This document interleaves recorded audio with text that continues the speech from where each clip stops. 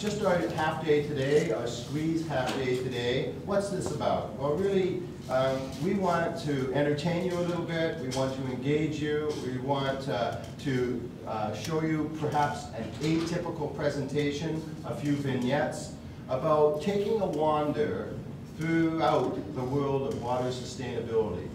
So why are we doing this day today, this squeezed half day? We want you to help us identify and overview the issues. We want uh, to create some initial hope, and this is really critical, some initial hope for solutions. And we want to structure some dialogue here this morning that perhaps will create some networking for the future. What outcome do we want from this little half day this morning? We would hope that the individuals in this room that are here today will learn some more about this incredibly critical component of our lives. Uh, we want you to see, meet, and greet folks in this room and find out what other people are doing. And we want you to network and begin a, uh, with like-minded people. And we want you to collectively to answer, perhaps, at least initially, what next?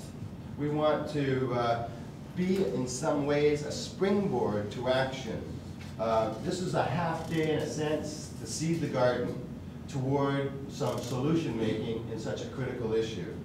So let us begin with vignette number one.